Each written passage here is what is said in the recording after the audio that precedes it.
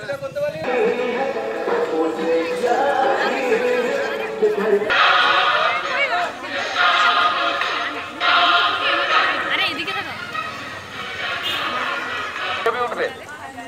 এসছেন ছবি তুলবে তোমরা প্রথমে আমাদের এই এটা যাবে ফ্লেক্স যাবে তারপরে এনসিসি টিম তারপর